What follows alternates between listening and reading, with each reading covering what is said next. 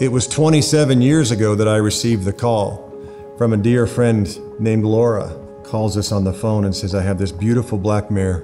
Her name is City Blues, or CB for short.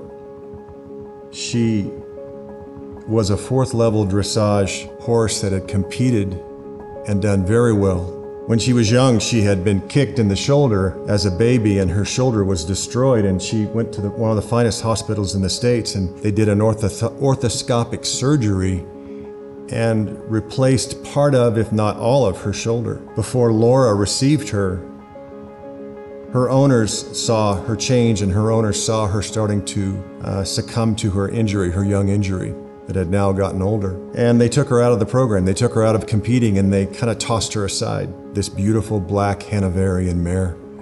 And Laura, because she loves horses, said, I'll take her and I'll take care of her.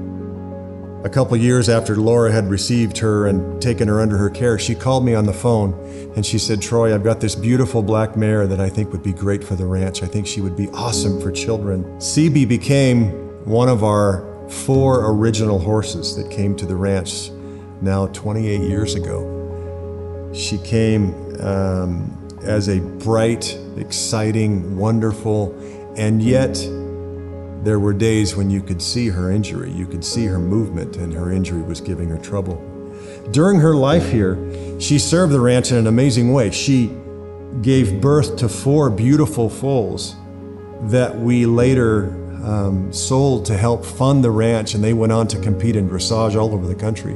Her fifth foal is Eclipse. It was August of 2003, and, and uh, CB was showing the signs of, of giving birth, and, and she was super fun to watch because she would always kind of find a quiet place, and, and she always allowed us to be a part of that. And she laid down and she was quietly going through the, the process of giving birth to Eclipse, and it was powerful and wonderful. And when Eclipse was born, she was this gangly, tall, all legs, um, wild little mare that it didn't take her more than, oh, I don't know, maybe three or four minutes, and she was up and she was nursing. Um, I had a chance to rub her down and to, to just get her ready for human touch. And in no time, she was trotting around the arena with her mom such a beautiful picture of, of a new life um, that God had created. She was at first my horse, and, and her and I spent many hours, many days in the mountains enjoying the, the trails of Central Oregon. She has become one of the most faithful, kind hearted um, session horses that we have here on the ranch. As she's aging, we're seeing time, like her mother, um, just take its toll. The reason I share this story and the reason I, I want to communicate Eclipse's life to you is that her life would have never happened had it not been for CB, for City Blues, a horse that was injured. Some of you watching this, you may be struggling through um, an injury, whether it's physical or maybe emotional. And you're wondering, am I even useful to the world around me? Do I have a purpose? God, do you have a plan for me? Do you have something that I can do? Yeah, He does.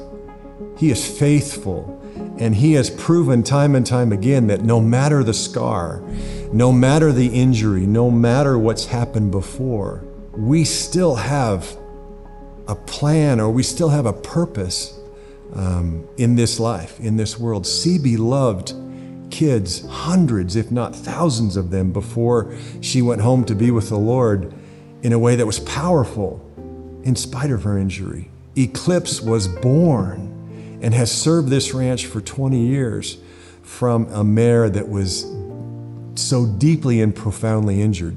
And Eclipse has become an incredible part of our team. God has a plan. And I don't know what you're struggling with right now. I don't know what's going on in your life what kind of injury you may be going through.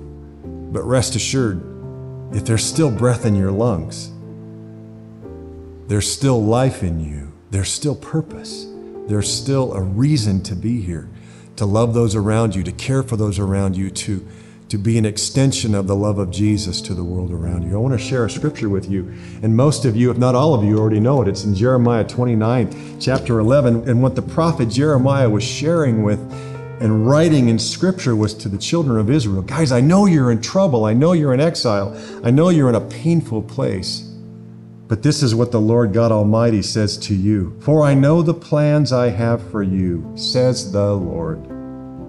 They are plans for good and not for disaster, to give you a future and a hope. CB came to this place maybe a little broken maybe a little battered, certainly injured. And she gave her all. And there are kids today, families today, that have enjoyed her presence, that have felt the presence of Jesus because of her.